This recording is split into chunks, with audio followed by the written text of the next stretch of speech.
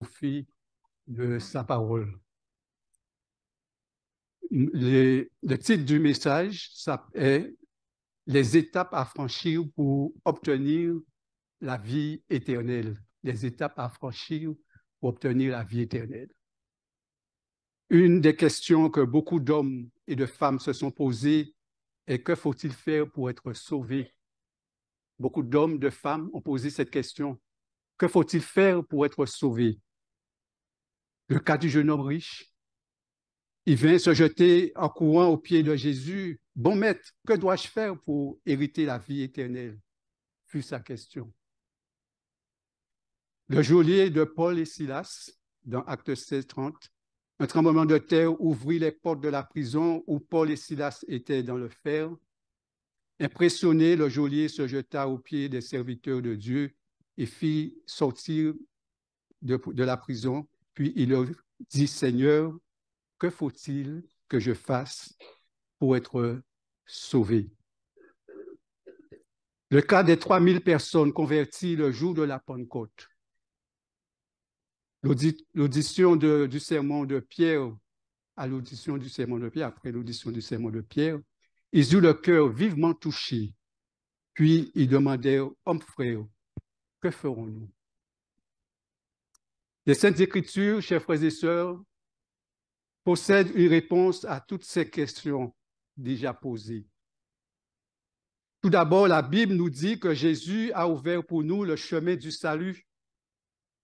Il est venu dans le monde pour chercher et sauver ceux qui étaient perdus. Il prit la nature humaine, mais vécut sans péché. Il mourut sur la croix en rançon pour nos transgressions. Il est prêt à nous pardonner nos impuretés. Il est prêt à nous donner sa justice et désire nous donner un cœur nouveau. Il intercède en notre faveur dans le sanctuaire céleste et nous prépare des demeures dans la maison de son Père. Il importe que nous posions ces questions. Que dois-je faire pour hériter la vie éternelle? Que dois-je faire pour être sauvé? Quelles sont les étapes à franchir pour aller avec Jésus dans le royaume des cieux? Je vous invite à considérer quelques éléments, quelques étapes. D'abord, dans le livre de Luc, chapitre 15, les versets 11 à 21.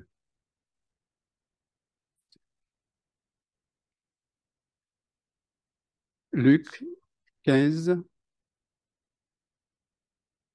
versets 11 à 21.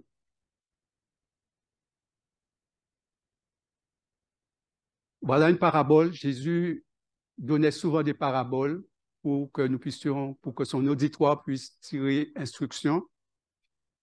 Et voici ce qui nous est dit concernant le fils prodigue. Il dit encore un homme avait deux fils. Le plus jeune dit à son père, Mon père, donne-moi la part de bien qui doit me revenir et le père le partagea son bien.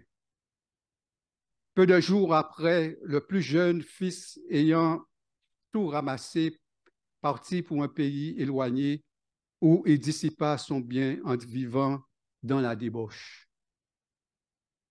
Lorsqu'il eut tout dépensé, une grande famine survint dans ce pays et il commença à se trouver dans le besoin il alla se mettre au service d'un des habitants du pays qui l'envoya dans les champs garder les pousseaux. Il aurait bien voulu se rassasier des carouges que mangeaient les pousseaux, mais personne ne lui en donnait. Étant entré en lui-même, il se dit combien de mercenaires chez mon père ont du pain en abondance, et moi, ici, je meurs de faim. Je me lèverai, j'irai vers mon père et je lui dirai, mon Père, j'ai péché contre le ciel et contre toi. Je ne suis plus digne d'être appelé ton fils. Traite-moi comme l'un de tes mercenaires. Et il se leva et alla vers son père. Comme il était encore loin, son père le vit et fut ému de compassion. Il courut se jeter à son cou et le baisa. Le fils lui dit, Mon père, j'ai péché contre le ciel et contre toi. Je ne suis plus digne d'être appelé ton fils. Nous allons nous arrêter ici pour considérer ces quelques versets. Voilà un jeune homme qui quitte la maison paternelle, qui réclame ses biens, les biens de son père, et il s'en va. Et la parole de Dieu nous dit qu'il, très rapidement, il se trouve dans la débauche. Et après qu'il s'est trouvé dans la débauche, il descend encore jusqu'à ce qu'il se retrouve à garder des pourceaux. Et continue encore à descendre jusqu'à ce qu'à vouloir manger le repas des pourceaux. Voyez-vous, chers frères et sœurs, ici, c'est la situation de l'humanité. La situation de chaque homme, chaque femme, chaque enfant, chaque jeune qui prennent naissance dans ce monde. Nous avons fait le choix de nous séparer de Dieu. Et toute personne qui se sépare de Dieu ne peut progresser. Toute personne qui se sépare de Dieu est dans la régression.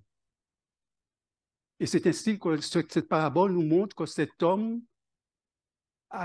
d'abord, il est devenu, dans la débauche, et ensuite il s'est retrouvé à garder des pourceaux et vouloir manger le repas des pourceaux. La séparation avec Dieu nous prive de la gloire de Dieu. Et c'est pourquoi la parole de Dieu nous dit que ce sont vos péchés qui mettent séparation entre vous et moi. Le péché met séparation entre Dieu et nous. Mais pour pouvoir retrouver Dieu, il va falloir, il y a des choses à faire. Et c'est ce qu'on voit que cet homme, ce fils prodigue va faire. Il va, on nous dit au verset 17, étant entré en lui-même, il se dit combien de mercenaires chez mon père ont du pain en abondance et moi ici je meurs de faim. Alors juste avant de, euh, d'expliquer cette partie, il y a quelque chose qui me revient. Le fait de pouvoir aussi garder les, les pourceaux, cela démontre, chers frères et sœurs, l'impureté. Parce que le cochon est impur. C'est ce que la Bible nous dit. Se trouver dans la présence des cochons, vouloir manger le repas des cochons, c'est s'identifier aux cochons. Et c'est ainsi que nous, humains, séparés de Dieu, nous, nous, sommes impurs aux yeux de Dieu. Et c'est pourquoi nous avons besoin de connaître la personne de Jésus qui a pris sur lui nos péchés pour nous purifier et nous permettre de vivre en la présence de Dieu. Mais il y a des démarches à faire, et c'est ce que nous venons de voir au verset 17, étant entré en lui-même. C'est-à-dire qu'il doit y avoir une prise de conscience, entrer en soi-même. L'homme séparé de Dieu, à un certain moment, doit pouvoir entrer en lui-même et dire, mais comment? Ma situation n'est pas la bonne.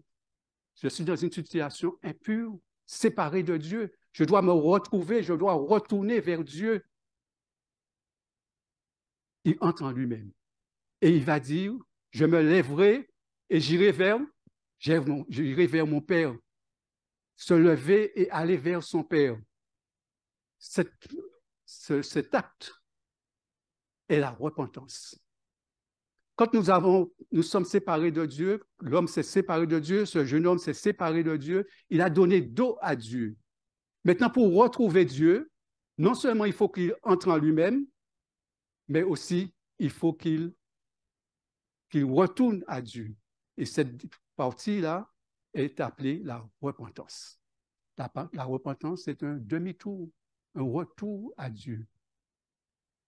Ensuite, il dit, je lui dirai, Père, j'ai péché contre le ciel et contre toi. Il va confesser ses péchés. C'est-à-dire que notre démarche est de reconnaître que nous sommes séparés de Dieu, que nous nous repentons, mais aussi que nous confessons nos péchés.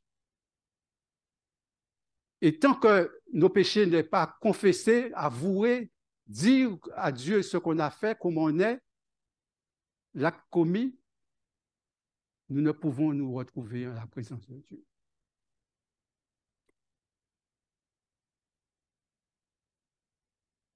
Oui, chers frères et sœurs, il est important pour nous de comprendre qu'il y a ces démarches, ces étapes, ces différentes étapes à franchir pour obtenir la vie éternelle.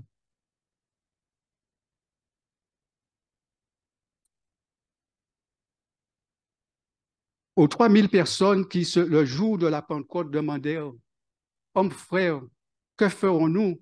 Pierre répondit Repentez-vous et que chacun de vous soit baptisé au nom de Jésus-Christ. Il importe que nous commencions notre marche vers le ciel en prenant cette direction. Il nous est dit dans le livre de 1 Jean, chapitre 1, verset 9, Si nous confessons nos péchés, il est fidèle et juste pour nous les pardonner. Et pour nous pardonner et nous purifier de toute iniquité. Le sage Salomon dit dans le livre de Proverbes 28, verset 13, Celui qui cache ses transgressions ne prospère point, mais celui qui les avoue et les délaisse obtient miséricorde. Par le prophète Joël, Dieu nous signale l'étape à franchir si nous, si nous voulons être avec lui dans le ciel nous est dit, maintenant encore, dans Joël 2, verset 12, maintenant encore, dit l'Éternel, revenez à moi de tout votre cœur. Lorsque le geôlier demanda à Paul et Silas, que faut-il que je fasse pour être sauvé? Il répondit, crois au Seigneur Jésus et tu seras sauvé. quatrième étape.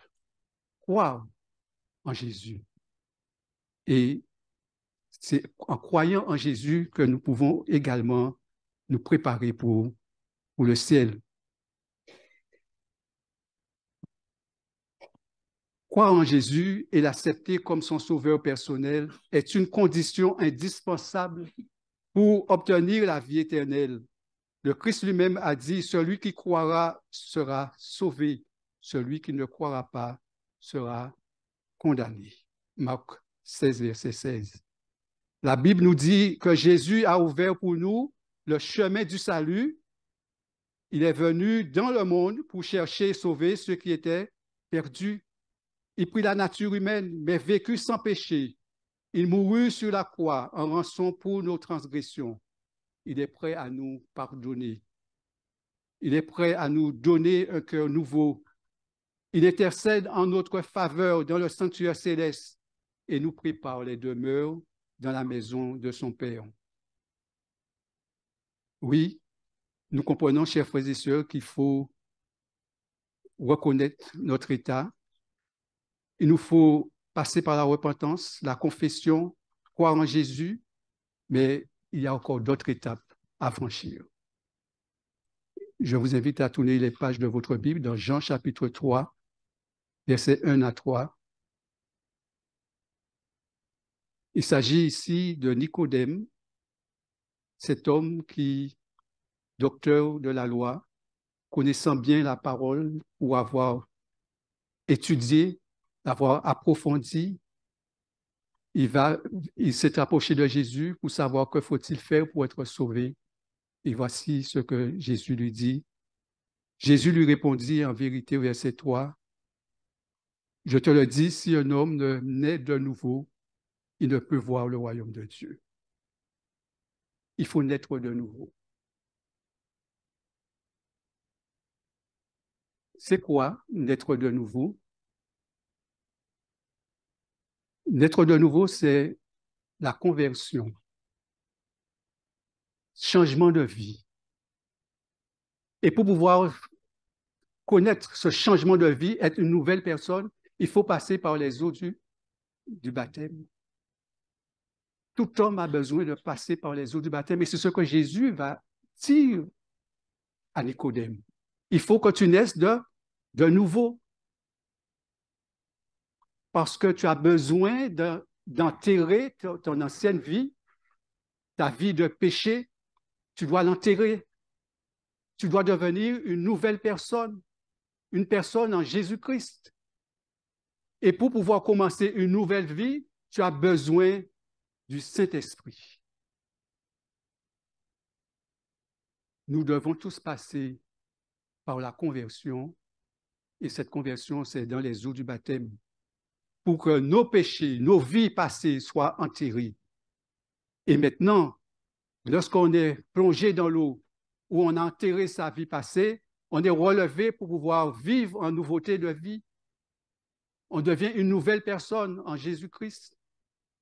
Et l'Esprit de Dieu nous, nous, nous amène à euh, un progrès, à une vie de sanctification, une vie de sainteté, comme l'avons vu tout au début pour ce jeune homme riche, ce, fils prodigue, il y a une dégradation de la vie, de, la vie spirituelle, il y a eu une dégradation de, le, comment dire,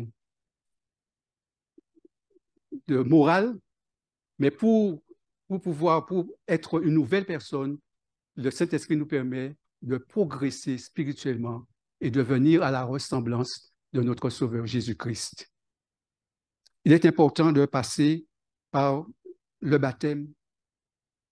Ce que Jésus a dit à Nicodème, chers frères et sœurs, est un changement de vie. La vie de péché est entrée, la vie de péché est enterrée.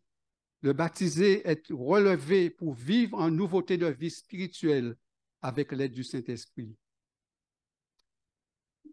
Depuis quelque temps, nous entendons des jeunes qui sont sur le point de se marier dire qu'ils vont enterrer, ils vont faire l'enterrement de leur, de leur célibataire, célibat.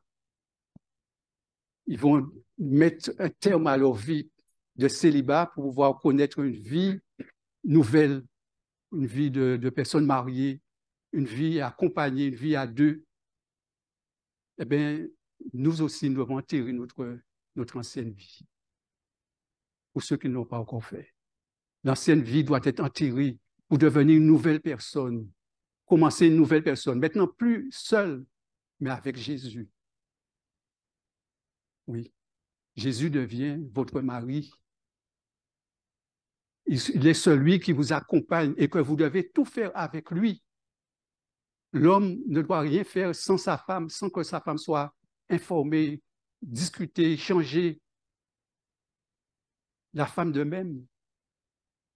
Mais le, chrétien doit tout mettre entre les mains du Seigneur. Consulter le Seigneur, parler, discuter, échanger avec son Seigneur. Il devient notre compagnon, notre fidèle compagnon, qui chemine avec nous tous les jours jusqu'à l'amour.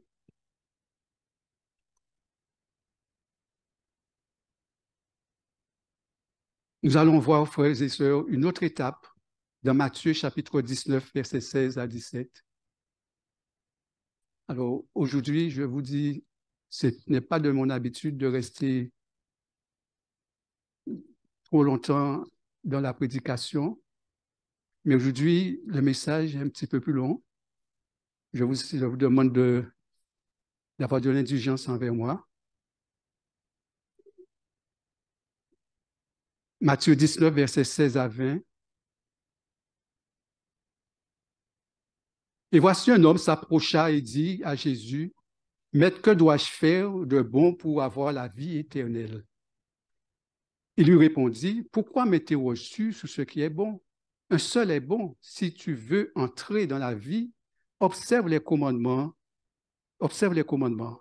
Lequel lui dit-il? Et Jésus lui répondit, tu tueras point, tu ne commettras point d'adultère, tu ne déroberas point, tu ne diras point de faux témoignages, honore ton père et ta mère, et tu aimeras ton prochain comme toi-même. Et le jeune homme lui dit, j'ai observé toutes ces choses, que me manque-t-il encore? Nous voyons, chers frères et sœurs, après avoir posé la question, que faut-il faire pour être sauvé Jésus va dire, observe les commandements. Il est important pour nous, pour tout homme qui a, envie de faire partie des sauvés, tout homme qui, qui veut vivre avec Jésus pendant l'éternité, doit observer les commandements. C'est une étape aussi à franchir. Il y a la repentance, la confession, croire en Jésus. Il y a également l'observation des commandements de Dieu. Et particulièrement le quatrième qui nous invite à l'adoration de Dieu le jour du sabbat. Voilà quelques frères et sœurs, étapes à franchir pour pouvoir accéder au ciel. Mais à la fin, il dit, ce jeune homme dit, j'ai observé toutes ces choses, que me manque-t-il encore? Sur ce point, frères et sœurs, nous devrions suivre l'exemple du jeune homme riche. C'est-à-dire, que me manque-t-il encore? Nous devions faire un examen de conscience. Nous devrions nous demander à quel point en suis-je sur le chemin du salut? Que me manque-t-il encore pour avoir l'assurance que j'irai avec Jésus dans les demeures célestes? Certaines personnes m'y font que leur premier pas. D'autres arrivent à la repentance, font l'expérience de la conversion, de la nouvelle naissance. Probablement, la grande majorité, sinon tous, croient en Jésus et l'ont accepté comme leur sauveur. Est-ce possible que la majorité garde les commandements de Dieu, y compris le quatrième, qui ordonne la sanctification du sabbat? Je crois que la grande majorité de ceux qui sont ici ont été baptisés et sont membres d'Église mais le Seigneur nous dit à tous dans sa parole, examinez-vous vous-même. Ce que nous trouvons dans 2 Corinthiens 13, verset 5. Certainement, avec l'aide du Saint-Esprit, chaque personne peut s'examiner afin de voir où elle en est sur le chemin. Il ne suffit pas de faire quelques pas. Nous devons tous faire, nous devons tout faire pour marcher pleinement avec Jésus si nous voulons être sauvés. Que me manque-t-il encore, mon frère? Que, que, te manque-t-il encore, mon, mon frère? Que te manque-t-il, ma sœur? Que te manque-t-il? Que te manque-t-il à chacun de nous? Il est probable que certains ne manquent qu'une chose. Certains ne sont pas entièrement donnés à Jésus. À d'autres, c'est l'observation du sabbat. À nous qui sommes ici, il manque au moins une chose même si nous avons franchi les étapes mentionnées antérieurement, même si nous sommes déjà baptisés et que nous sommes membres d'Église, je le répète, à chacun de nous, il manque au moins une chose. Quelle est cette chose qui nous manque? Voulez-vous savoir? Oui, je sais que vous voulez savoir. Matthieu 24, 13 nous répond. Matthieu 24, verset 13.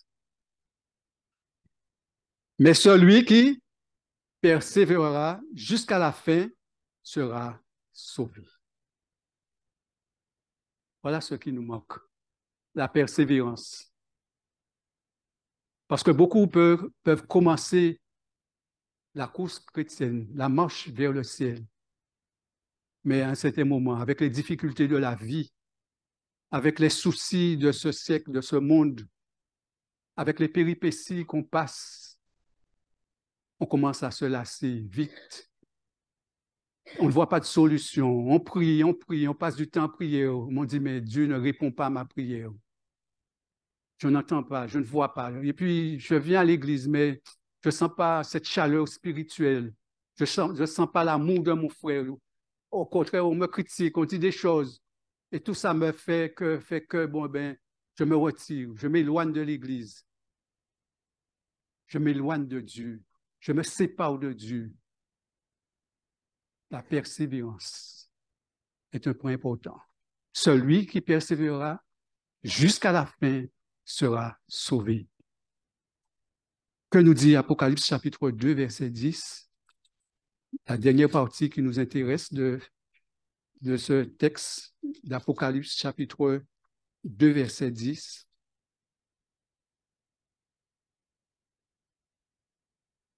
Ne crains pas que tu vas souffrir. Voici le diable jettera quelques-uns de vous en prison afin que vous soyez éprouvés et vous avez une tribulation de dix jours.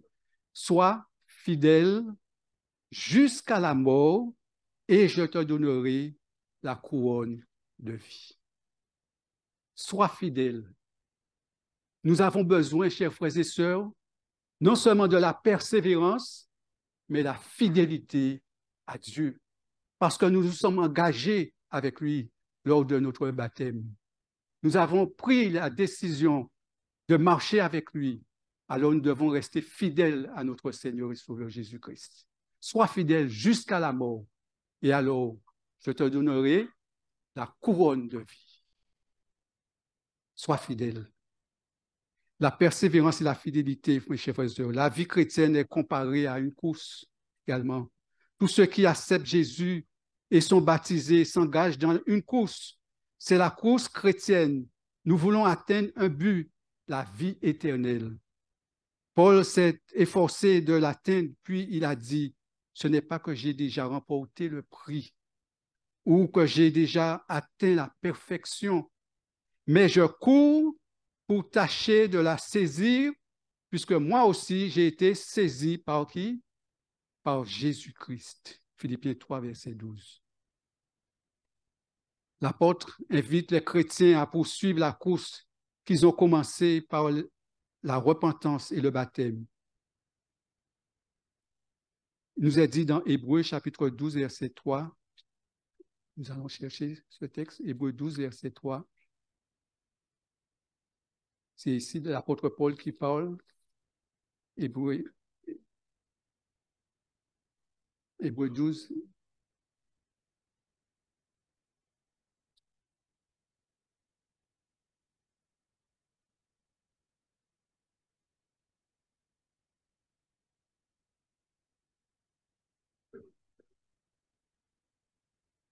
Hébreu 12, verset 3. Considérez en effet celui, Hébreu 12, verset 1 d'abord. Nous donc aussi, puisque nous sommes environnés d'une si grande nuée de témoins, rejetons tout fardeau et le péché qui nous enveloppe si facilement et courons avec persévérance dans la carrière qui nous est ouverte. Verset 3. Considérez en effet celui qui a supporté contre sa personne une telle opposition de la part des pécheurs, afin que vous ne vous lassiez point l'âme découragée. Oui, Christ est mort pour nous, pour nous donner la victoire, et ce serait vraiment dommage qu'il meure pour nous, pour mes péchés, pour vos péchés, pour vous donner la vie, d'être si près du but et de pouvoir rater le ciel. Oui, ce n'est pas le moment, chers frères et sœurs, de nous lasser. Ce n'est pas le moment pour nous de lâcher prise. Ce n'est pas le moment pour nous de nous décourager. C'est le moment pour nous de nous ressaisir. C'est le moment pour nous de dire, mon frère, ma soeur, bon courage. Maranatha, Christ revient. C'est le moment pour nous, chers frères et sœurs, de nous mettre debout et de faire savoir aux autres que Jésus revient. C'est le moment pour nous, chers frères et sœurs, de nous reconsacrer à Dieu. Et pour ceux qui n'ont pas encore pris, n'ont pas pointé le pas, pour ceux qui n'ont pas encore, qui se sont pas encore baptisés, pour ceux qui n'ont pas encore accepté Jésus comme sauveur personnel, votre présence nous fait plaisir et je suis content que vous soyez là. Cela me fait plaisir parce que Christ est mort pour vous. Mais il est temps pour vous aussi d'emboîter le pas. Il est temps pour vous de dire, Christ, je veux te donner ma vie dès maintenant et pour toujours. C'est maintenant, chers frères et sœurs. C'est le moment pour vous de dire, Christ, je veux être baptisé. Qui c'est qui voudrait dire cela à Christ en levant la main? Christ, je veux être baptisé pour toi pour te donner ma vie? Y a-t-il une personne? Oui. Amen. Amen. Amen. Oui. Christ est prêt à vous accepter en ce matin. Il est prêt à vous bénir. Il est prêt à vous dire, je suis mort pour toi. Alors, chers frères et sœurs, chers amis, je vous invite ainsi à donner à Christ non seulement votre cœur, votre corps, votre âme, votre être tout entier. Il fera de vous une nouvelle personne. Il fera de vous une personne qui, prendra plaisir de se retrouver en sa présence. Et cela non seulement lorsqu'il reviendra, mais maintenant, dès que vous allez prendre cet engagement avec lui, Dieu, comme vous l'avez pris maintenant, Dieu, Christ est prêt à vous bénir et à vous faire de lui, à faire de vous son enfant. Je vous invite à chercher dans 1 Corinthiens chapitre 9, versets 24 à 27. 1 Corinthiens 9,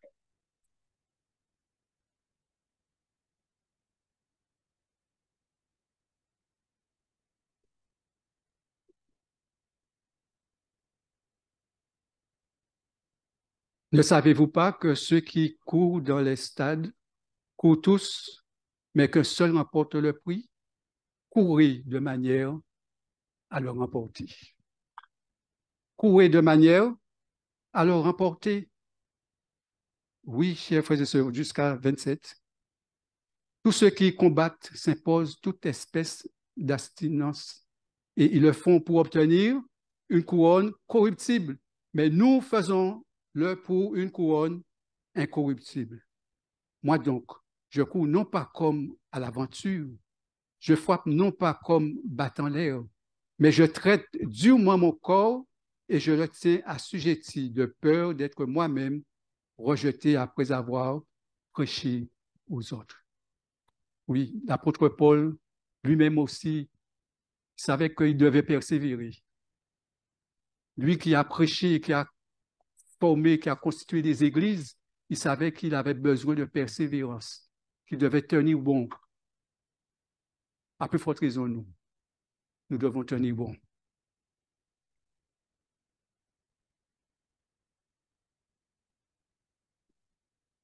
Aussitôt que nous commençons à étudier la parole de Dieu, nous nous engageons dans la course chrétienne.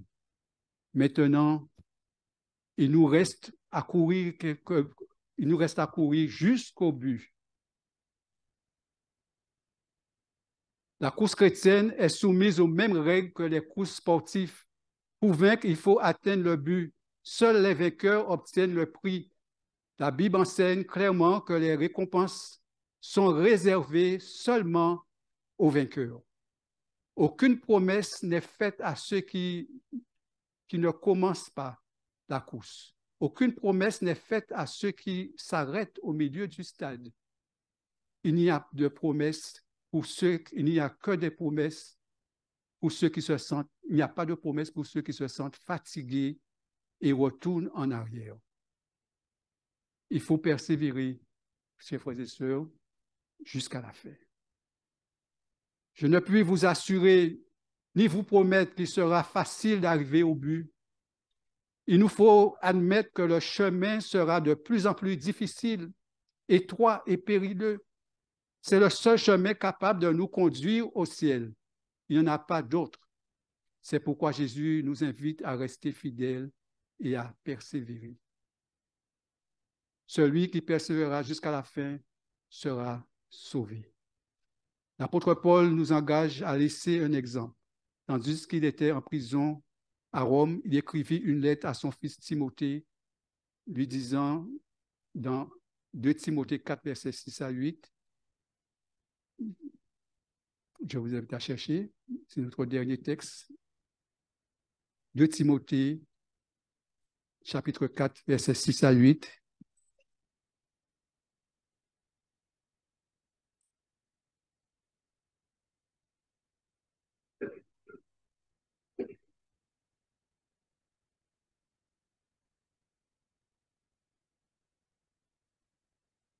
Car pour moi, je sers déjà de libation et le moment de mon départ approche. J'ai combattu le bon combat. J'ai achevé la course, j'ai gardé la foi. Désormais, la couronne de justice m'est réservée. Le Seigneur, le juste juge, me donnera dans ce jour-là. Et non seulement à moi, mais encore à tous ceux qui ont aimé son avènement. Amen.